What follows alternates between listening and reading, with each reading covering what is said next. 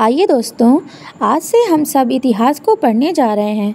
तो इतिहास से संबंधित यह हमारा पहला भाग होगा। आइए पहला प्रश्न देखते हैं। इतिहास का पिता कहा जाता है, हेरोडोटस को। सिंधु सभ्यता प्रसिद्ध थी, सुनियोजित शहर हेतु। सिंधु सभ्यता के लोगों का व्यवसाय था, व्यापार करना, वो व्यापार करते थे। सिंधु वासियों की मुख्य फ़सल जौ एवं गेहूँ थी। हड़प्पा सभ्यता की सर्वप्रथम जानकारी चार्ल्स मेसन ने सन 1825 में दी थी।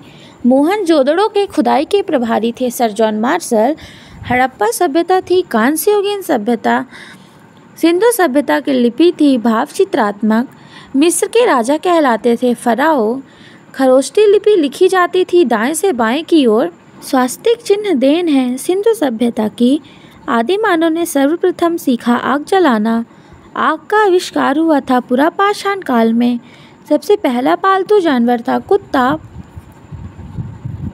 सिंधु सभ्यता थी आद्य ऐतिहासिक सभ्यता हड़प्पा स्थित है। रावी नदी के तट पर सिंधु सभ्यता का प्रमुख बंदरगाह, लोथल बंदरगाह हड़प्पा वासी किस धातु को नहीं जानते थे? लोहा।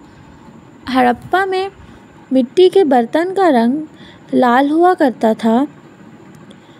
चावल के साक्ष्य मिले हैं लोथल एवं रंगपुर से। सिंधु सभ्यता का मान्यता प्राप्त काल 2500 ईस्वी पूर्व से 1700 ईस्वी पूर्व तक था। मोहनजोदड़ो स्थित है पाकिस्तान के लरकाना ज़िले में। मोहनजोदड़ो की खोज किसने की तो राखलदास बनर्जी ने सन 1922 में मोहनजोदड़ो की खोज की थी, ठीक है? नर्तकी की कांस्य मूर्ति मिली मोहनजोदड़ो से। सिंधु सभ्यता की सबसे बड़ी इमारत अन्नानागार था, जहाँ अन्न रखा जाता था। मोहनजोदड़ो की प्रमुख इमारत थी वृहद स्नानागार मेसोपोटामिया का अर्थ, दो नदियों के बीच की भूमि थी। हड़प्पा की खुदाई हुई थी 1921 में दयाराम साहनी द्वारा। सिंधु घाटी के लोगों ने पूजा की मातृ देवी की। पुराणों की संख्या 18 है। पुराणों की रचना गुप्त काल में हुई थी। सबसे प्राचीन पुराण है मत्स्य पुराण। पुराणों की रचयिता लोमहर्ष एवं उग्र श्रवा हैं। तो दोस्तों, उम्मीद है कि आप सभी को अच्छे से समझ में आ रहा होगा। वेद एवं वेदांगों की संख्या वेद चार हैं और वेदांग छः हैं। उपनिषदों की संख्या है 108 पुराणों का अध्ययन करने वाला पहला मुसलमान अलबरूनी उपनिषद की विषय वस्तु दर्शन का ब्राह्मण ग्रंथ संबंधित है। कर्मकांड से